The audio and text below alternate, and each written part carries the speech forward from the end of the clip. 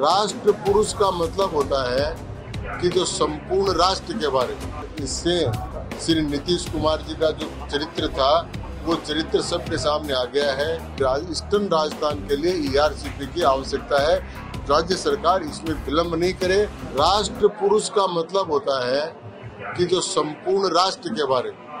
तो राष्ट्र की डेफिनेशन ये होती है कि व्यक्तियों का जो समूह है उस समूह की समान परंपराएँ हों और वो एक निश्चित भूभाग में रहता हो, समान शत्रु मित्र भाव हो, उनमें नीचे से लेकर ऊपर तक का जो व्यक्ति है, उनका चिंतन करके उस राष्ट्र को आगे बढ़ाता है, वो राष्ट्र पुरुष बिहार में जो राजनीतिक घटनाक्रम हुआ है, वो राजनीतिक धोखाधड़ी के रूप में देखा जाएगा और इससे श्री नीतीश कुमार जी का जो चरित्र था, वो चरित्र सबके सामने आ गया है।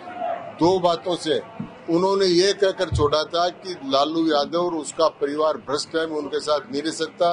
अब उनके साथ वापस चले गए हैं। तो कुल मिलाकर ये हुआ है जनता के साथ विश्वासघात। देखिए ईआरसीपी के बारे में सबसे पहले वसुंधरा जी की जब सरकार थी, उन्होंने ईआरसीपी का नाम शुरू किया। पहले ईआरसीपी क्या ये किसी को पता नहीं था। ईआरसीपी क्यों है? वेस्टर्न राजस्थान में इंदिरा गांधी केनाल, बागरा केनाल और वो है, ईस्टर्न राजस्थान में नहीं है, इसलिए इसका नाम ईस्टर्न राजस्थान केनाल प्रोजेक्ट, ये ईआरसीपी हुआ। अब इस ईआरसीपी का मूल ढांचा में तीन बातों की बहुत बड़ी कमी है। पहली कमी है कि पचहत्तर प्रतिशत पानी हम कहाँ से आएँगे? ये डीपीआर में राज्य सरकार को देना पड़ेगा।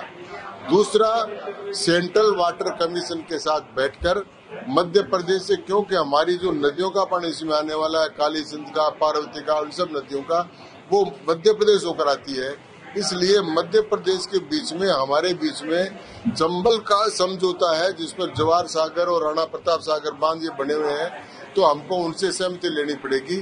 और ये काम अगर राज्य सरकार जल्दी कर लेगी तो भारत सरकार से हम निवेदन करेंगे कि भारत सरकार योजना मदद करे। और ईआरसीपी e मेरा मानना है कि राज, ईस्टर्न राजस्थान के लिए ईआरसीपी e की आवश्यकता है। राज्य सरकार इसमें विलम्ब नहीं करे इसमें राजनीति नहीं करे ये राज्य की जनता के हित में है। ये केवल गजेंद्र सिंह जी के हाथ में नहीं है। जब तक राज्य सरकार अपनी रिपोर्ट नहीं देगी कि पचहत्तर प्रतिशत पानी इसमें आएगा और इसका इतना उपयोग होगा। और मध्य प्रदेश से सहमति नहीं ले लेती और डीपीआर पूरी ठीक से नहीं बनाती। ये तय नहीं करती कि यह पानी किस किस बाँध में जाकर भरेगा, किस किस जिलों में जाएगा, कितना सिंचाई में जाएगा, कितना पेयजल में जाएगा। ये काम करने का सारा काम राज्य सरकार का है। और राज्य सरकार ये काम करेगी तो फिर सारे सांसद मिलकर ही कोशिश करेंगे।